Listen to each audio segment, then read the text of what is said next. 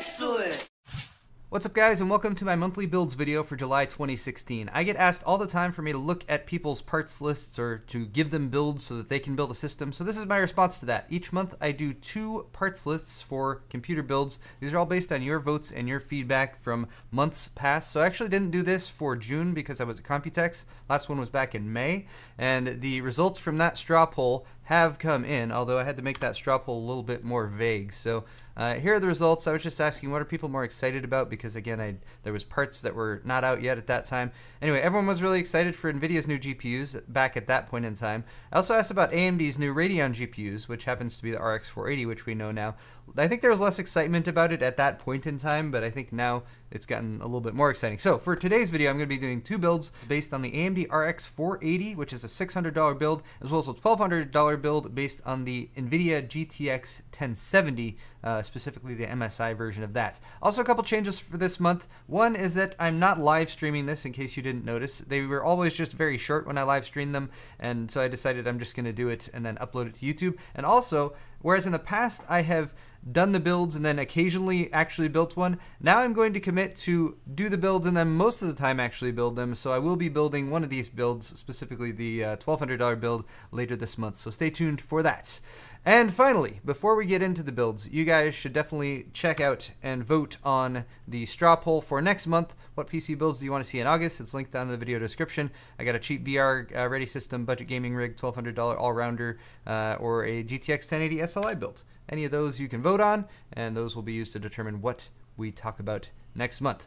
But let's get into the builds for this month, starting with the less expensive $600 RX 480 build, and there it is right there. Uh, I based it around a Core i3-6100 CPU. It's a dual-core processor with hyper-threading. It's Skylake. Um, it will be upgradable, although it is one of the weaker parts of this system, but it only costs about $110 to $120 US right now.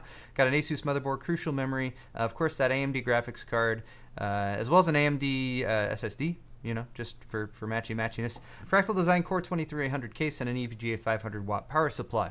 So uh, let's go over these parts one at a time and we'll kind of talk about what's what. Also, by the way, check out my builds list, my, my builds playlist on YouTube if you want to see me do builds. And anytime I do these builds, I will add them to that list. Um, all right, so starting off with the processor, it's a Core i3-6100. Uh, 3 megabyte cache, 3.7 gigahertz, so it actually runs at a pretty decent frequency. And it does have hyper-threading, so even though it's got two physical cores, it's got four logical cores, so um, that can trick some games that require a quad core into working with this uh, processor. And it comes with a uh, CPU heatsink fan, which is also important. Uh, for motherboard, I just stuck with an Asus budget range motherboard. Again, this is a little over $100, uh, depending where you buy it at. Z170E, LGA1151. This should be drop-in compatible with Kaby Lake once it comes out. So if you do decide to upgrade that weaker link in the system, being the uh, processor, you can drop that into this motherboard, or you should be able to with a BIOS update based on what we are told. Other than that, it's got a nice feature set all around, good uh, feedback from, from the reviews and whatnot, and hey, even a $20 mail-in rebate card at Newegg if you buy it there right now. Cool. For memory, we went with a 2 by uh, 4 gig kit, 8 gigs total. Crucial Ballistix Sport. It's it's kind of sporty. You know, it's silver. It's got some digi camo in there, which I'm not a huge fan of, but hey, that'll blend in. Black and silver, though, will blend in with the motherboard and look pretty nice in an 8 gig kit kit is what you want. Uh, for an SSD, I like to do an only an SSD in most of my builds simply because I feel like most people have old hard drives lying around that they can easily drop in to add some more mass storage. And a 240 gig SSD will get you by without too much difficulty. About 60 bucks is kind of the going price for a decent 240 or 256 gig SSD. This is a solid pick from uh, AMD Radeon. I actually don't know who OEMs this SSD. I used to, but I forget now.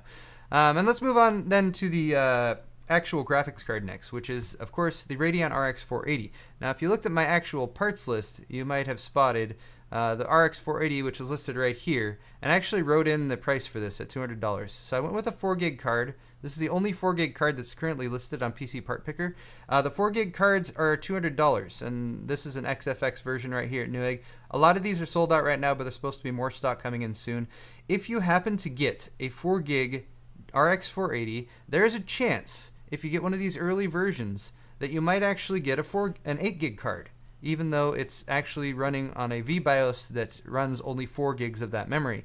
So what you can do is check, and even some of the boxes, this is a Tweaktown article by the way, even some of the boxes said 8 gig on them and they put a 4 gig sticker over it. So if you happen to get one of these lucky early versions, then you can basically flash your VBIOS with an 8 gig version and you get an 8 gig card for the 4 gig price. That's not guaranteed by any stretch. I imagine uh, AMD will be launching actual 4 gig cards as well, but um, hey, it's 40 bucks cheaper and you get the chance at getting free uh, VRAM right now. And for this build, honestly, you're probably going to be playing at 1080 anyway, and 4 gigs is probably sufficient. So for the 40 bucks and to keep the price down, went with the 4 gig card. But hey, if you really want the 8 gigs, pay 40 bucks more.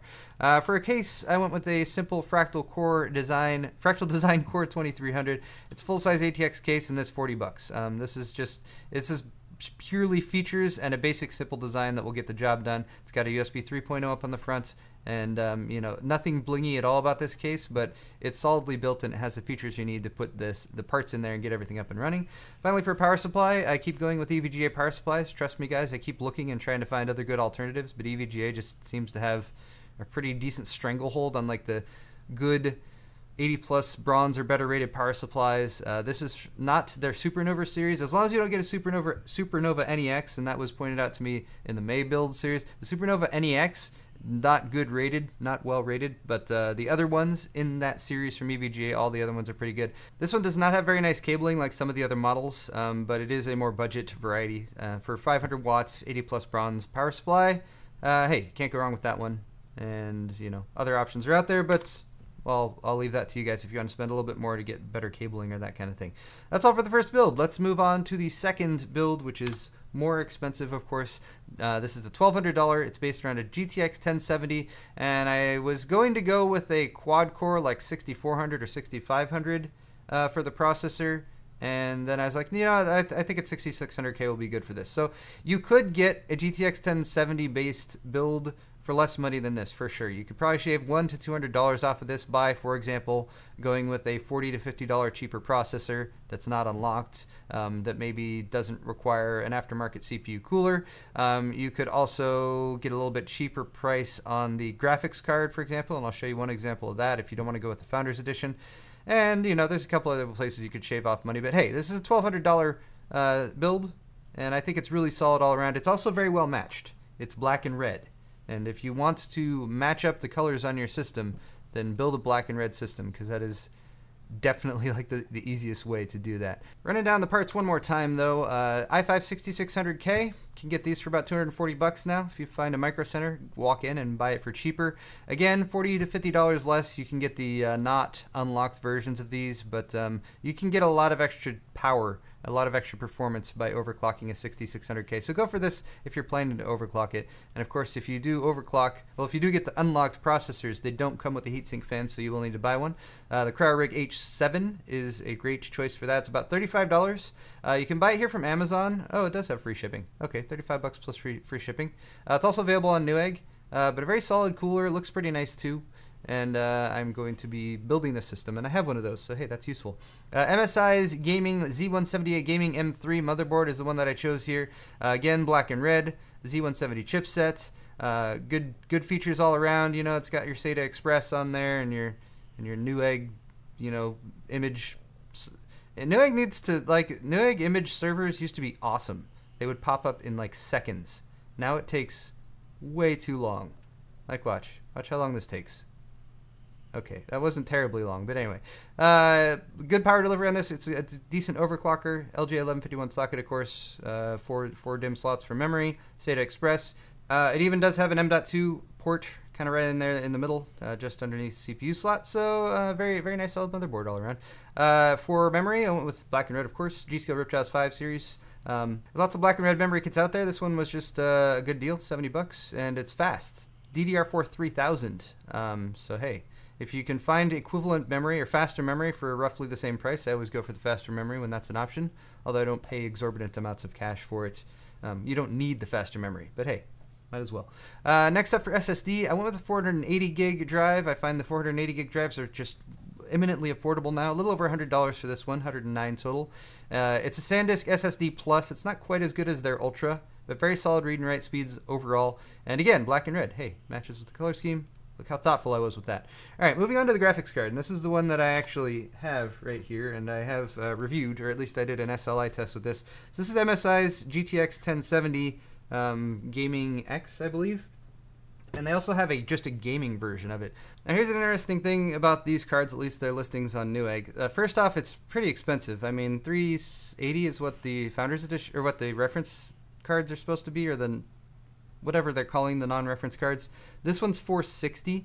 Um, it is overclocked um, right out of the box, but you could get for $440 the gaming version that's not Gaming X, which looks exactly the same. It doesn't have the RGB lighting on it, but the RGB lighting wasn't all that impressive for me anyway.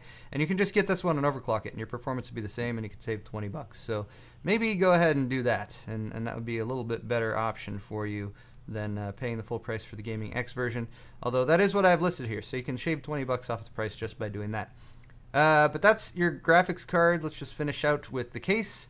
NZXT S340. This is the black and red version. So again, a little bit of red accents on there will help everything match super nice.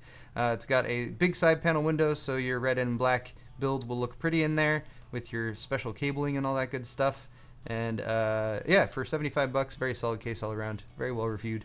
Finally, for power supply, EVGA again, the 650 GQ this time. This one's 80 plus gold rated, so it's definitely uh, more efficient. So you'll save a little bit more on your power bill. 9.4 out of 10 from JonnyGuru, who does really good power supply reviews. Uh, and again, 75 bucks for 650 watt 80 plus gold. So I think that's a great choice.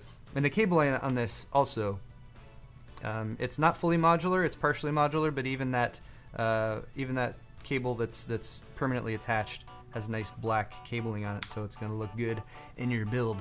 Um, anyway, that's all for this video, guys. I hope you have enjoyed it. Again, I will be building that uh, GTX 1070 system very soon, so stay tuned. Hit the uh, subscribe button if you're not already, and you can check out that when I come to it. If you want to see more builds right now, check out my builds uh, playlist. That's also linked down in the video description. Thank you guys so much for watching. Hit the thumbs up button on your way out, and we'll see you next time.